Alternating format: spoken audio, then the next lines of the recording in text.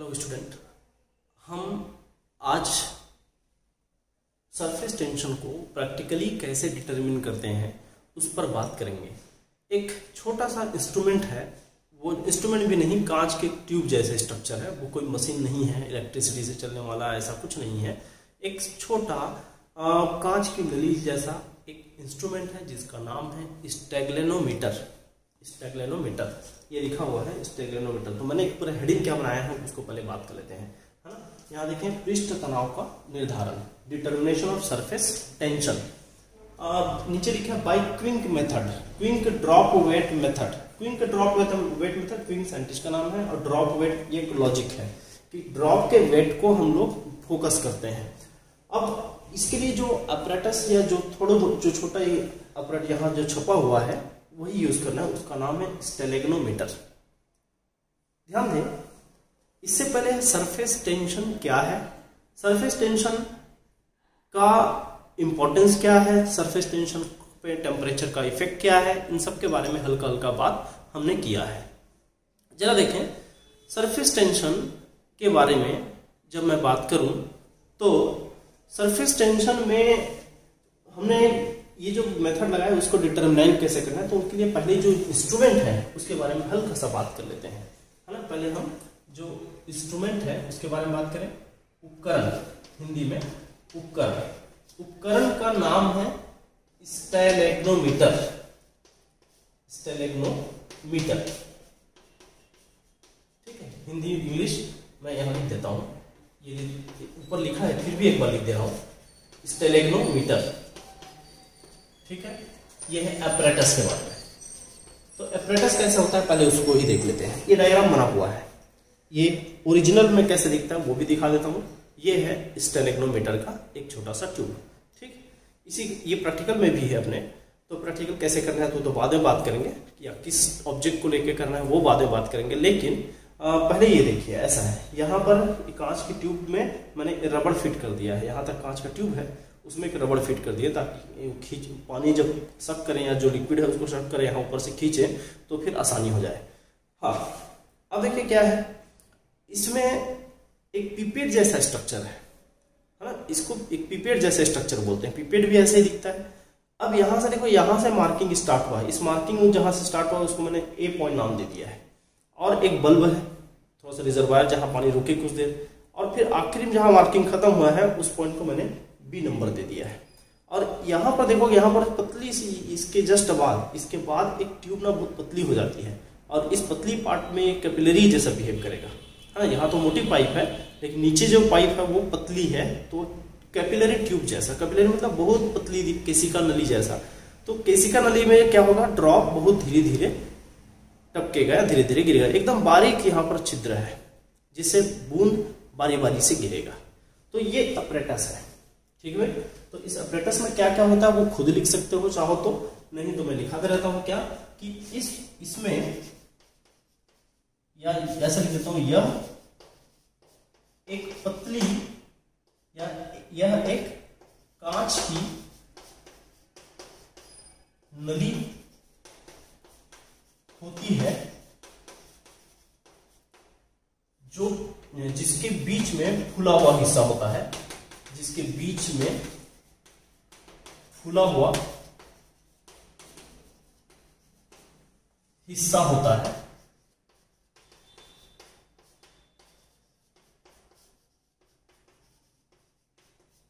जिसके बीच में फूला हुआ हिस्सा होता है और निचले भाग में एक कैपिलरी कैपिलरी मतलब पतली छिद्र वाला, कैपिलरी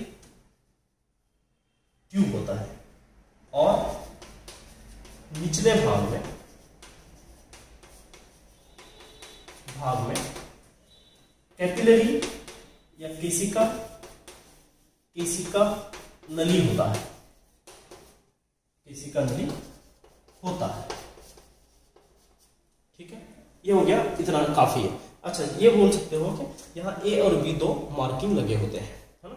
जहाँ से स्रोत होता है। ऊपरी भाग में रबर ट्यूब लगा के जल को खींचने के लिए एक सहारा बना दिया जाता है। तो ये सब लिख सकते हो आप। मैं और नहीं लिख रहा हूँ।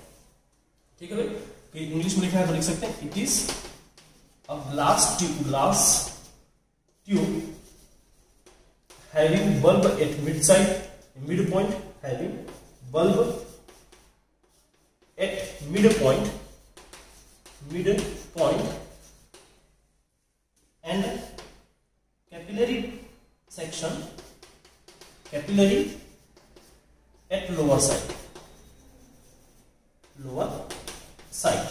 Okay ये एक उपकरण के बारे में इंफॉर्मेशन हो गया कि क्या है। अब थोड़ा सा इसके थ्योरीज पे आते हैं। एक थ्योरीज पे आने से पहले थोड़ा सा मेथड को भी बात कर लेते हैं। करना क्या है? उपकरण के जस्ट बाद अपरेटस की जस्ट बाद मेथड पे बात कर लेते हैं। तो जरा देखिए मेथड में। मेथड को मैं समझा रहा हूँ, बस आप इसको अपने शब्दों में लिखेंगे। मेथड में क्या करना होता है? ठीक है? मेथड, विधि।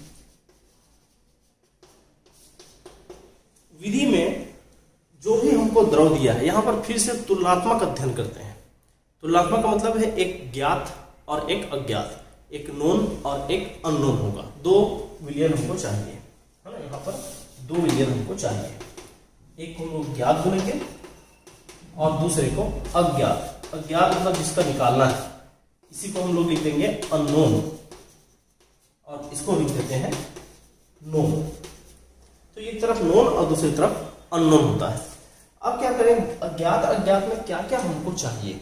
वो हमको देखना है। इंस्ट्रूमेंट तो एक है। तो इंस्ट्रूमेंट एक है तो फिर इसके जो इंस्ट्रूमेंट से जो वैल्यू चाहिए, वो तो सेम आएगा। क्या क्या डिफरेंट वैल्यू है? उनकी बात करता हूँ। जरा देखिए। यहाँ पे इसकी जो डेंसिटी है, जो ज्ञात है, उसकी डेंसिटी मान लो डी वन है तो यहाँ डी टू है। ना? दूसरा चीज़, यहाँ सरफेस टेंशन गामा वन मान लिया, यहाँ गामा टू मान लिया। किसी एक पता है, दूसरा नहीं पता है ना? तो यही हमको फ़िलहाल निकालना है। और क्या, एक चीज़ हमको जो प्रैक्टिकल से निकालना है, वो पहले, वो भी बात कर लेते हैं। क्या प्रैक्टिकल से हम जिस भी द्रव में एक्सपेरिमेंट करेंगे, उसको पूरा यहाँ तक खींच के यहाँ तक भर देंगे। हाँ या उससे ऊपर भी भर देना, बाद में धीरे से बैलेंस कर लेना यहाँ तक। ठीक है? अब बैलेंस करने के बाद, जैसे इसको मुँह से ऐसे खींचना पड़ेगा तो फिर नीचे से ऊपर भर जाएगा। है ना? ऊपर से ही भर देते हैं कभी कभी लेकिन मुँह से खींच के भरे तो फिर क्या है? करेक्ट चढ़ता है। अब उसके बाद इसको जैसे ही यहाँ पॉइंट पर आया, उसको यहाँ से बंद करते पहले ऊपर ज़्यादा भर लो और धीरे धीरे धीरे धीरे कम करो, इसको खोलते हुए, ऐसा पंप करते हुए और धीरे धीरे जाके जहाँ तक पॉइंट पर बैलेंस होकर रुक जाएगा, वहीं पर इसको दबा के रख फिर ये गिरेगा नहीं, ठीक है? तो मान लीजिए अब ये भर गया, भरने के बाद यहाँ से यहाँ तक द्रव को बहने दो और बहते समय बूंदों की संख्या को गिनो, बूंदों की संख्या को गिनो। नंबर ऑफ़ ड्रॉप्स तो नंबर ऑफ़ ड्रॉप मान लो n1 आया। इधर पर नंबर ऑफ़ ड्रॉप मान लो n2 आया। यही मुख्य प्रैक्टिकल हमारा प्रैक्टिकल में यहाँ पर हम एन वन और एन टू ही गिनते हैं। वो किसी भी तरह का प्रैक्टिकल हो। या इससे सांद्रता निकालो, इससे सरफेस टेंशन निकालो। इस इंस्ट्रूमेंट का काम ही है कि हम यहाँ से चढ़ाते हैं लिक्विड को और यहाँ से यहाँ तक आने पर कितने बूंदे यहाँ पर ड्रॉप बना, उसकी बात किया जाता है। ठीक है भाई? तो ये सारा ये सारा चीज़ d one gamma one a n one इसमें d two gamma two n two ऐसा अलग अलग नोटेशन मान दिए हैं। दोनों में जो कॉमन है इस जो कैपिलरी ट्यूब की जो जो भी इसका रेडियाई होगा वो दोनों में कॉमन है। कैपिलरी ट्यूब का जो रेडियाई होगा वो कॉमन है। है ना? हल की ज़रूरत नहीं पड़ेगी पर कॉमन कॉमन याद रखना। फिर यहाँ का मास मान लो एम वन है। यहाँ का मास मान लो एम टू बूंद का जो भार है ये भी कॉन्सेप्ट में यूज़ हो सकता है। पहले विधि को समझ लीजिए। तो मैं विधि में क्या क्या बातें करने जा रहा हूँ कि in this method we also in this method we use the comparative method comparative method का मतलब तुलनात्मक, है ना? विद रेस्पेक्ट टू रेफरेंस या ज्ञात नोन सॉल्यूशन हिंदी में क्या बोल सकता हूँ? इस विधि में हम तुलनात्मक अध्ययन करते हैं। एक संदर्भ या ज्ञात सॉल्विलियन के मान से अज्ञात का मान निकाला जाता है। तो इसके लिए करते क्या है? एक बार ज्ञात का एक्सपेरिमेंट करते हैं, एक बार अज्ञात का एक्सपेरिमेंट करते हैं। हालाँकि ज्ञात का भी एक ही बार करना ऐसा नहीं है। इसको आप चाहो पाँच, सात बार करो, लेकिन इसको जो सेटअप तो एक ही रहेगा। ये एक एक्सपेरिमेंट कहलाएगा, ये दूसरा एक्सपेरिमेंट कहलाएगा। और यहाँ दो, तीन बार जो भी लगातार रीडिंग आया है, उसको रोक लो। भाई, यहाँ तीन बार कम से कम तो दिखाना ही पड़ेगा। जिसमें रीडिंग काफ़ी पास पास आ रहे होंगे। एकदम डिफरेंट डिफरेंट रीडिंग आ रहे हैं उनको हम लोग। करते हैं, लेकिन छोड़ देते हैं, सो नहीं करते। जो आखिरी के तीन रीडिंग जिस, जो काफ़ी करीब आए, उसको आप सो करिए। फिर उनका एवरेज वैल्यू यहाँ पर निकाल लीजिए, बूंदों की संख्या का। ठीक है? मान लो इसमें पहले पहले बार में दस बूंद आया, फिर बारह बूंद आया, फिर दस बूंद आया, ऐसा। तो उन दोनों तीनों का औसत निकाल के फाइनल को एन वन मानेंगे ठीक है? बिल्कुल वैसे ही यहाँ। दो बार एक्सपेरिमेंट होगा। फिर ये हो गया विधि का काम। अब डाटा कैलकुलेट कैसे होगा, उसके लिए थ्योरी एंड कैलकुलेशन एक साथ लाता हूँ। तो पहले आप इतना नोट करें, फिर बात करते हैं।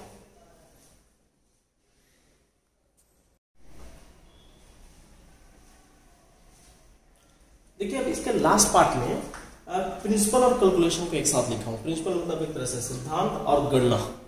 ऐसा लिख दिया। क्या होता है समझेंगे कोई भी जो स्टेगनोमीटर है उस या कैपिलरी है, मैं केवल लास्ट पार्ट को शो कर रहा हूँ ना, जो छोटा एकदम ट्यूब जैसा होता ना, इधर बड़ा हिस्सा को शो नहीं कर रहा हूँ। जो रिजर्वायर था या बल्ब था, उसको शो नहीं कर रहा हूँ। यहाँ नीचे देख रहा हूँ। इस लास्ट पार्ट से जैसे ही वो बूंद टपकेगा ये बूंद जहाँ से यहाँ टपकेगा तो इस टपकेगा तो बूंद का साइज़ को देखना आप कोई भी ड्रॉप ऐसा टपकाते हुए देखिए ड्रॉप एकदम से सीधा सीधा गिरा, यहाँ से गिरा सीधा यहाँ नीचे निकला, ऐसा नहीं होता है। पहले वो दीवालों से चिपके हुए निकल, नीचे गिरेगा। और यहाँ पर, पहले धीरे धीरे बूंदों की साइज़ बढ़ेगा। ऐसे बूंदों की साइज़ बढ़ेगा। और बूंद की साइज़ बढ़ेगा और भार जब इसका अच्छा हैवी हो जाएगा ना, फिर वो टपकेगा। समझो इस बात को। पहले बूंद धीरे धीरे इकट्ठा होगा, बड़ा होगा। और ये बूंद की साइज़ जैसे जैसे बड़ी होती जाएगी, फिर उसका एक भार इकट्ठा होगा। और वो भार फिर नीचे गिरेगा।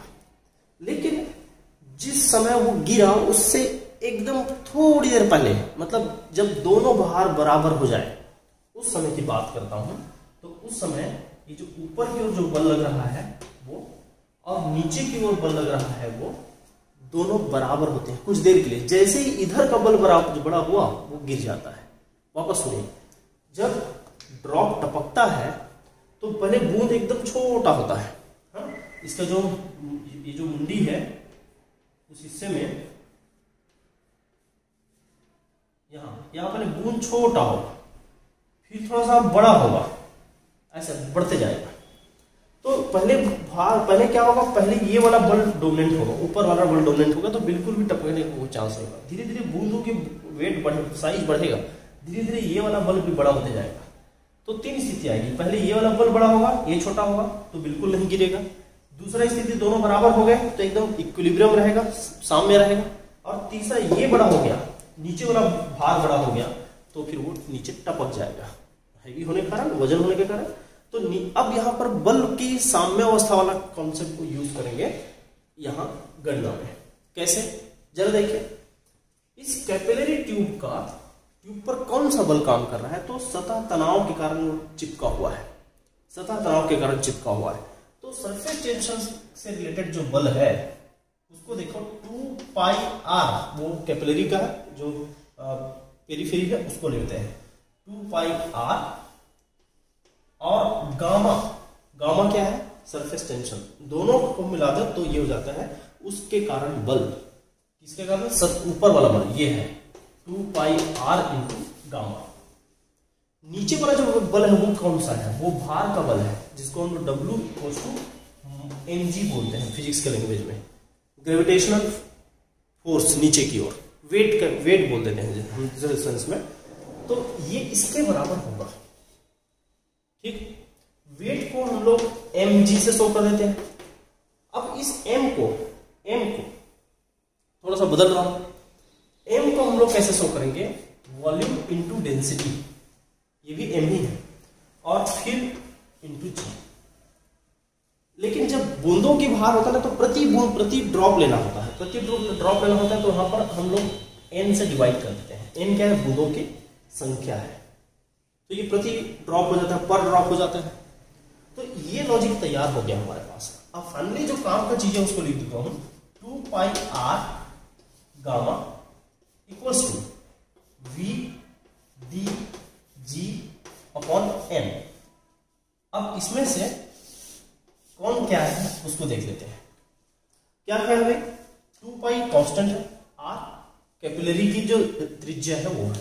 ना? तो लिख देता हूँ r radii of the capillary tube radii of capillary tube ये कैपिलरी ट्यूब की त्रिज्या है। और गामा क्या है? गामा सतह तनाव है। सतह तनाव सरफेस टेंशन ये शुरुआत से जानते हैं। सरफेस टेंशन ठीक है? वी क्या है? आयतन। जो द्रव लिया गया, उसका आयतन वॉल्यूम डी क्या है? डेंसिटी घनत्व. डेंसिटी घनत्व. हिंदी में भी बोल रहा हूँ। हिंदी वाले हिंदी में सब कर सकते हैं। एन क्या है? सबसे अच्छा कैलकुलेशन कैलकुलेट करने वाला चीज़ तो यही है। यही तो हम कैलकुलेट कर रहे हैं एक्चुअल में। एम है बूंदों की संख्या। कहा? वो पॉइंट ए से पॉइंट बी तक चलने में बूंदों की संख्या। Number of drop number of drop Hindi में बूंदों की संख्या। जी क्या है? जी आप जानते हो फिजिक्स का है। ग्रेविटेशनल एसिलेशन वैल्यू होता है 9.8 मीटर पर सेकेंड स्क्वायर तो यहाँ से देखो, ये ये इसको बोलते हैं गुरुत्वीय त्वरण हिंदी में गुरुत्वीय त्वरण इंग्लिश में ग्रेविटेशनल एसिलेशन तो इसका वैल्यू होता है 9.8 और 9.8 मीटर पर सेकंड स्क्वायर अब जब हम इस फॉर्मूला को यूज़ करेंगे तो अब इसमें सबको यूज़ नहीं करना है, क्योंकि हमको तुलनात्मक अध्ययन करना है। तो तुलनात्मक अध्ययन करेंगे तो क्या क्या होगा, उसके बारे में बात करता हूँ। तो वो जो वैल्यू मैंने लिखा, यहाँ जो लिखा है, अब उसी को थोड़ा सा सजा देता हूँ। ये इसको हटा दो पहले देखिए कैसे एक बार नोन के लिए नोन या ज्ञात सॉल्यूशन जिसको बोलते हैं, उसके लिए ये एक्सपेरिमेंट होगा। तो इसके लिए एक्सपेरिमेंट होगा तो क्या होगा? टू पाई आर इतना तो सेम रहेगा ना, क्योंकि इंस्ट्रूमेंट तो एक ही है तो आर भी सेम रहेगा और टू पाई तो कांस्टेंट है भाई तो two pi r gamma one, known को मैं वन मान रहा हूँ equal to v one d one g same रहेगा एन इस तरह से। ठीक है? क्लियर है? और एक काम करते हैं ना, इसमें और क्या क्या चीज़ सेम रह सकता है उसको हटाते हैं। इस वॉल्यूम को भी हम सेम रखेंगे। वॉल्यूम को भी सेम रखेंगे।